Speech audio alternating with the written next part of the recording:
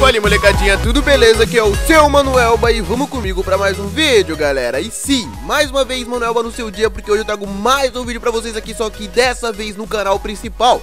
Hoje nós falaremos sobre Pro Evolution Soccer e mais algumas ligas que devem sim estar chegando ao game. Hoje nós não falaremos exclusivamente sobre as novas ligas, mas o vídeo de hoje é bem rapidinho Porque eu estou me comprometendo a trazer vídeos diários. Todo de informação, todo de informação, então às vezes não tem tantas informações assim pra falar pra vocês, então vou falar pra vocês o que saiu hoje, sim, que eu não tinha noticiado pra vocês até então, que é assim, sobre Brasileirão, sobre segunda divisão da Liga Italiana e também sobre a Eurocopa, galera, assim, Eurocopa 2020, que muito possivelmente estará assim chegando ao game. Quer entender melhor o que vai acontecer? Fica até o final do vídeo que eu tenho certeza que você vai curtir pra caramba. Lembrando, já deixa o seu like e também se inscreve aqui no canal pra não perder absolutamente nada. E bora pro vídeo a loja Nova Era Games já está realizando a pré-venda do PES 2020 e do FIFA 20. O preço que já é baixo fica ainda menor se você utilizar o cupom de desconto MANUELBA. Então vai lá e garanta já o seu pelo menor preço da internet. Corre que é por tempo limitado, o primeiro link na descrição. Bom, talvez você não tenha entendido, né? Porque eu comecei o vídeo falando que era mais uma vez Manuel no dia. Como assim? É porque simplesmente, pessoal, eu comecei os trabalhos no meu canal secundário. Então se você ainda não se inscreveu lá, vai lá e faça sua inscrição, por favor, que vai me ajudar pra caramba, velho. Eu já postei um vídeo sobre Neymar, sobre Real Madrid, sobre toda essa especulação, qual o destino do jogador. Então dá uma olhada que o vídeo ficou muito foda. Tá no primeiro link na descrição e também no primeiro comentário é fixado aqui abaixo. Então se você não se inscreveu lá, cara, e gosta do meu trabalho, por favor, se inscreva lá que vai me dar uma força gigantesca estamos chegando no primeiro mil de inscritos. Então, primeiros mil inscritos, estamos já quase batendo lá no canal. Então, por favor, faça sua inscrição, que eu vou estar imensamente grato caso você acompanhe meu trabalho aqui e lá também, beleza? Porque os dois canais serão de muita qualidade. Bom, vamos lá falar sobre o Pro Evolution Soccer, que temos muitas coisas boas pipocando, né, pra nós falarmos hoje. Na verdade, pessoal, são poucas informações, vocês podem esperar um vídeo um pouco mais, é, vamos dizer que um pouco mais curto, porque eu tenho certeza que vocês gostam, né, de um vídeo um pouco mais rápido, assim, indo ao assunto que, pelo que parece, não é o vídeo de hoje, né, pessoal? Mas vamos lá. Vamos falar exclusivamente, pessoal, hoje sobre algumas licenças. Iremos falar sobre as ligas que eu falei pra vocês, que eu citei pra vocês no começo do vídeo, né, pessoal? Então vamos, sem perder tempo, começar a citar pra vocês a possibilidade de estar tá chegando, sim, a Eurocopa no game. Por que que acontece? A Konami França, sim, que, pessoal, está, sim, curtindo as postagens da UEFA Euro 2020. Isso possa, sim, indicar algumas coisas, pessoal, porque vale lembrar que pelas imagens que foram vazadas do cronograma da Konami para, para o mês de agosto, a empresa, sim, teria um grande anúncio da UEFA para fazer ainda esse mês que vai entrar. E sim, pessoal, eles, eles estão em um ótimo relacionamento com a UEFA, inclusive já aceitaram seu licenciamento da UEFA Nations League, que é sim a Liga das Nações da UEFA, que é onde junta assim as principais seleções europeias e fazem sim um pequeno campeonato, um torneio preparatório para a Eurocopa, que estará ocorrendo no ano seguinte, que sim, já rolou sim a UEFA Nations League, quem não sabe, e sim, estará licenciado no PES. E como vocês sabem também, a EA Sports não tem o licenciamento da Eurocopa para o game, eles têm o licenciamento da UEFA Europa League, da UEFA Champions League e também da Recopa da UEFA.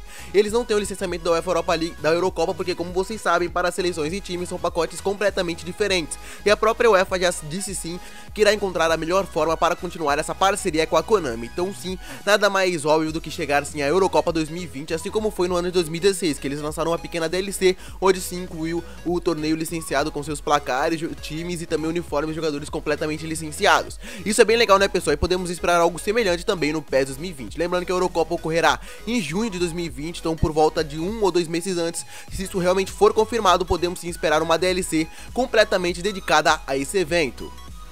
E outra coisa que também pintou na internet, pessoal, é que assim, mais indícios da Série B italiana estará licenciada no PES. Como eu trouxe pra vocês alguns dias atrás, confirmando de forma bem direta a Série A italiana, sim, pessoal. Pintou mais coisas que possam indicar que a Série B também estará vindo, não só a Série B, mas estará vindo licenciada, porque foi confirmado sim que já teremos a Série B italiana. Porém, algumas, alguns indícios estão demonstrando que virá genérica, né, pessoal? Não genérica com seus times genéricos, mas talvez sim com uh, o, a liga genérica, né, pessoal? Com uma liga fictícia tipo Liga Italiana Série B. Mas não, pessoal, tem mais indícios que demonstram sim que além da Série A chegar, pessoal, a Série B Cálcio também pode mesmo chegar ao eFootball PES 2020, porque no site da Lega B, pessoal, uma página destaca uma negociação com uma empresa de videogames, que vocês estão vendo na tela o pequeno print que foi tirado.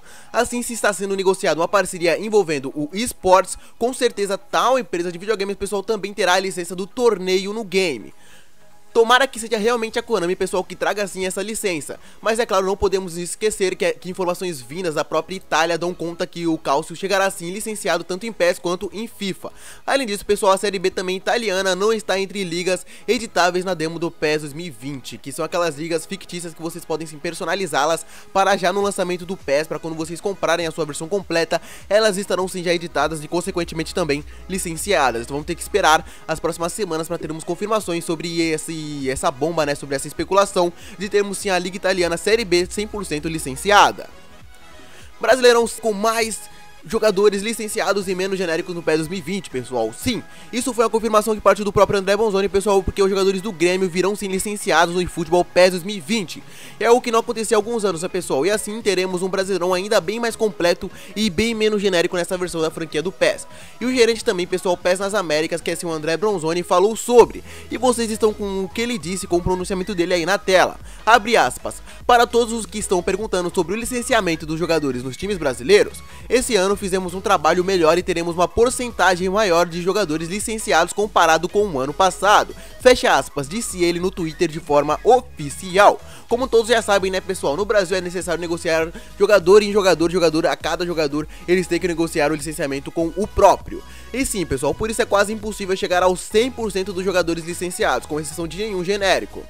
Isso é realmente muito legal, né, pessoal? Porque mostra que eles estão em um ótimo empenho com o Brasileirão, porque além da cegada da Série B no game, que virá licenciada assim com todas as 20 equipes em uma liga realmente licenciada lá, Série B do Campeonato Brasileiro, também teremos uma maior porcentagem de times brasileiros licenciados. Eu diria para vocês que basicamente 95% de times estarão licenciados, e isso é confirmado, porque de ano em ano, se eu não me engano, quando pintou pela primeira vez no PES 2017, o Campeonato Brasileiro licenciado e oficial, né, pessoal, com exclusividade, acho que tinha cerca de 60 ou 70% de jogadores licenciados. Esse número está aumentando ainda mais a cada ano. Quem sabe algum dia nós consigamos chegar, né, pessoal, no tão aguardado 100% de jogadores licenciados, mas isso infelizmente parece que não vai rolar, né, pessoal? Mas, pelo, mas é legal sim ver esse esforço que a Konami vem é, fazendo para melhorar o PES no geral e ainda mais para nós, para o nosso país. Bom, pessoal, o vídeo de hoje foi, espero que vocês tenham curtido. Podem reclamar que as informações não foram tão boas assim, mas é o que acontece, né, pessoal, para quem traz vídeo diário. Não tem tantas informações assim para falar todos os dias, então eu prefiro trazer esses vídeos menos completos para informar vocês exatamente de tudo. Para você que acompanha o canal saber exatamente de tudo que passa. Lembrando que se você ainda não conhece meu canal secundário, vai lá e por favor se inscreva. Eu vou soltar mais um vídeo hoje falando sobre transferência diferentes do mercado da bola. Então não perca, cara. Faça inscrição lá que vai me ajudar pra caramba. Eu fico por aqui, deixa o seu like também, se inscreve no canal. Até a próxima. Falou!